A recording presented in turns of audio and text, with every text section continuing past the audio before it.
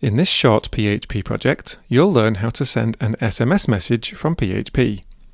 This can be used, for example, to send alerts, reminders, as part of two-factor authentication and so on. When sending an email from PHP, you need access to an SMTP or mail server in order to send the email. Similarly, sending an SMS from PHP requires access to an SMS gateway. There are many of these available. In this video, I'm going to use two different ones, Infobip and Twilio, so we can compare the different ways in which they work. Note that sending SMS messages isn't free, you have to pay for each message, although it can be very cheap. With both of these providers, you can start for free, with a small amount of free messages so you can try them out. Let's start with this code, form.php. Here we have a basic HTML document that contains a form, with an input for the phone number we're sending the message to, one for the content of the message, and a radio button to choose between the two providers. Note I'm using my favourite classless CSS style sheet, water.css, so we can get a nicely styled form without having to add any classes to the HTML. In the browser, the form looks like this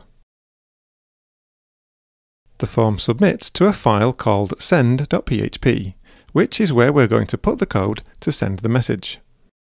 Let's start by getting the values from the form for the phone number and the message content. Then we'll use the value of the radio button to decide which provider to use. Let's start with Infobip. To use Infobip, we'll use the official API PHP client library. You could use the API directly, but using the package makes it much easier. To install this, we'll use Composer on the command line. Make sure you run this command from the root of your project folder. Running this has created the vendor folder inside our project, containing the package and its dependencies. To load the classes inside this package, we'll require Composer's autoloader script, which will load the necessary class files automatically. To use the Infobip API client, we need to use several classes.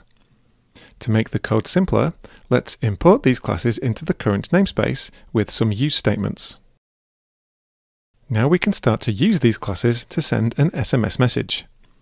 First, we need to authenticate access to the API with our credentials. Once you've signed up for an account, in the developer dashboard, you'll see an API key and an API base URL. Let's create variables to contain these values. Note you have to put your own values in here, which you can copy from the dashboard. Note that in practice you wouldn't hardcode values like this in here, you'd store them in a separate configuration file like a .env file. For the purposes of this video though, we'll keep it simple and just use variables.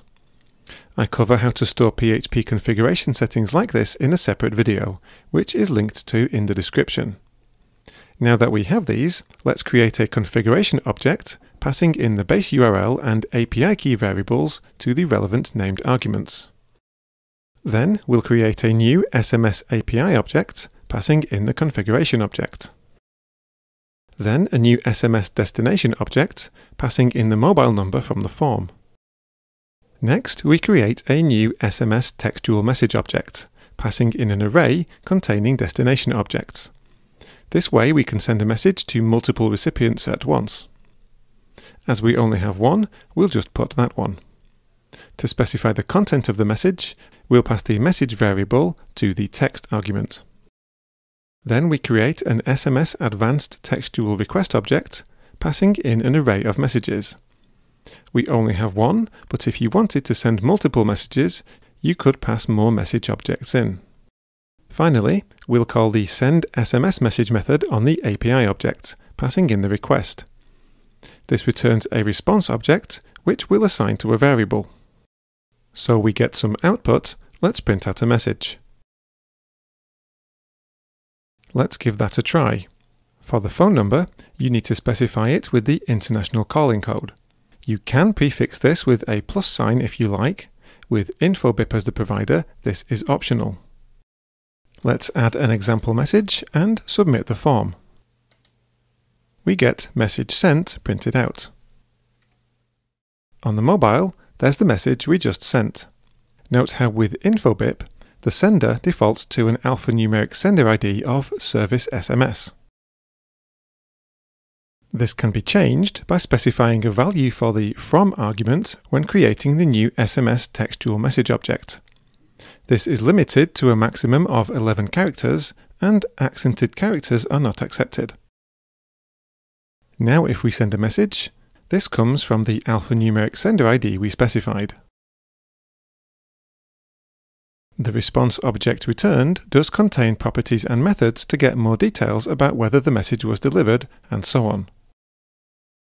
Check the official documentation for more details on how to use this object to programmatically get these details.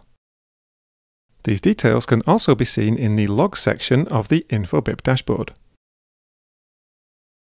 Next, let's send an SMS using the other provider, Twilio. So let's add an else block to the if statement that checks the value of the provider radio buttons. To use Twilio, as with InfoBip, we'll use the official PHP SDK. To install this, we'll use Composer on the command line, again making sure we run this from the root of our project. As you can see, this has far fewer dependencies than the InfoBip package. We're already requiring Composer's autoloader at the top of this script, so the class files in the Twilio SDK will be loaded automatically.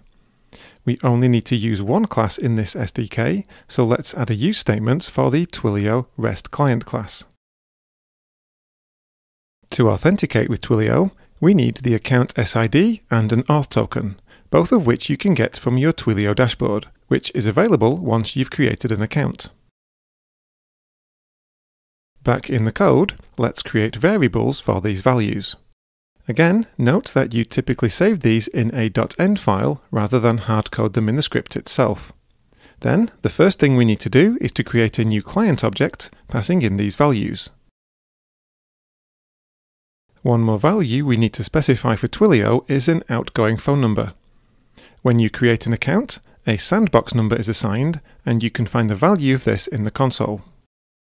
Note also that on a trial account, you can only send messages to numbers that you've verified here in the console. Let's create a variable containing the outgoing phone number value. If you want to have an alphanumeric sender ID like InfoBip, then you need to upgrade to a paid account. Then, to send the message, we call the create method on the messages property of the client object, passing in the number from the form and an array containing the sender, which is the Twilio number, and the body of the message, which we'll get from the form. Let's give that a try. I'll enter the verified number that I've already registered with Twilio, and note that unlike InfoBip, Twilio requires the number to start with a plus sign. Let's add a message, select Twilio as the provider, and submit the form. And there's the message on the phone. Note that the text sent from your Twilio trial account is prefixed to the message content. This won't happen for paid accounts.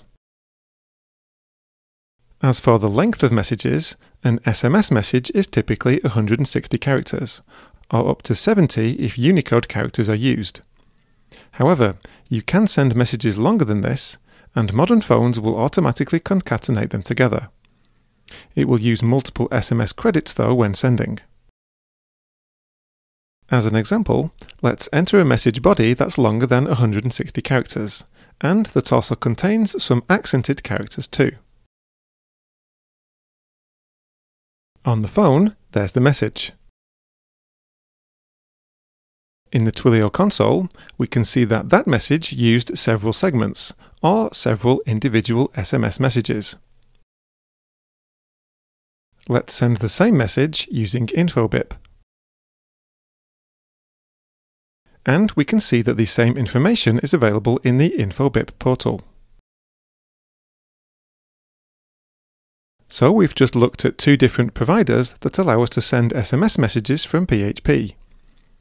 When choosing a provider for a service like this, it's often beneficial to compare not just pricing, but features and how simple it is to use.